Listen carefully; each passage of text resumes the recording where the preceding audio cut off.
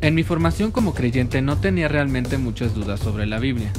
Creía que esta era inequívocamente la palabra de Dios, y como tal era inmutable y la única verdad absoluta. Sin embargo, no podía estar más lejos de la realidad.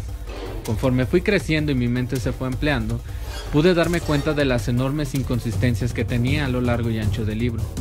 Busqué respuestas primero con mis autoridades o amigos que suponía que tenían mayores conocimientos de Dios.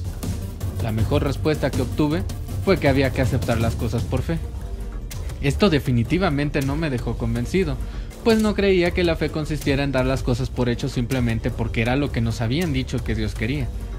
Comencé a indagar por mis propios métodos, siempre buscando las respuestas a mis cuestionamientos en lugares seguros como páginas evangelistas. Dos que puedo citar en este momento son Answers in Genesis y Antes del Fin.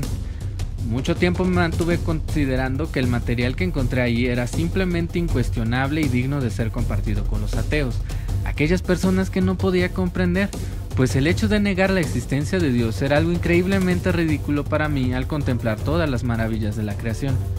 Cuando mis dudas crecieron, me dije a mí mismo que no podía detenerme solamente en el panorama limitado de los cristianos e inicié con la búsqueda de información en buenas fuentes.